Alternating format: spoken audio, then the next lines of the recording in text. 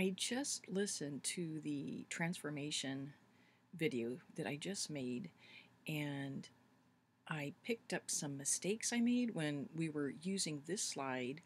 This is slide 20, um, as, an, as a model for explaining Frederick Griffith's uh, transformation experiment with Streptococcus pneumonia.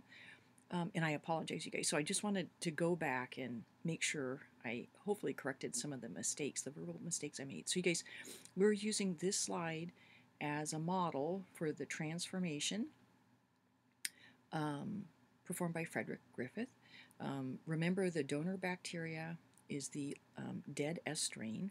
And folks, um, we're, we were going to pretend that this A allele is the gene that permits the bacterium to make the enzymes to make a capsule, right? So the S strain made a capsule.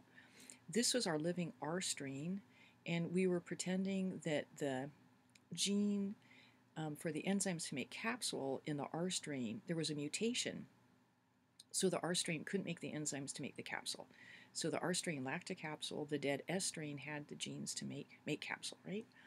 And then this represents a living R strain. Um, we, it would have been competent. It would have made those DNA binding proteins that would permit it to bind to the DNA released from the dead S. It would get introduced into the living R, and through that cool process of homologous recombination, the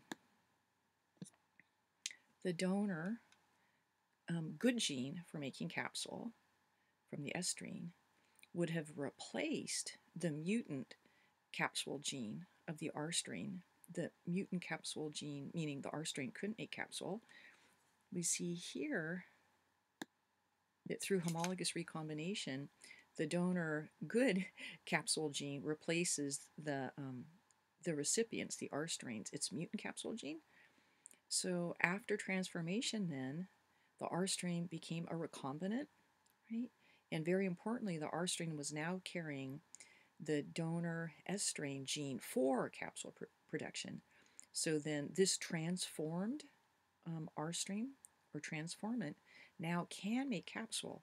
And that was what Frederick Griffith recovered um, in the fourth experiment from the mice that he injected with a mixture of dead S and living R strain. He recovered the transformed R strain that could then make capsule. And again, folks, they just look they look just like S strain, living S strain, and indeed they are now S strain. Okay, folks, I hope that didn't cause too much confusion.